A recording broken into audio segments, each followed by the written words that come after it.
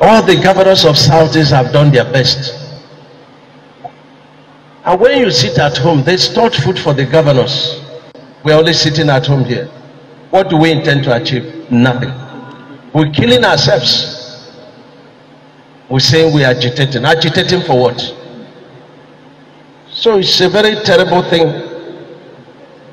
When our people push restructuring, yes, I agree with restructuring, but it has to be administrative restructuring. I will continue to preach it that the states that are very weak must be taken care of before we say let everybody control their resources.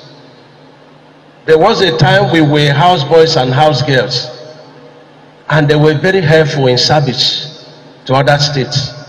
It's a time to be built up before you can collect your VAT separately. Uh, I will continue to preach that allow the federal government to collect VAT and share for us. For a chain is as strong as the weakest link.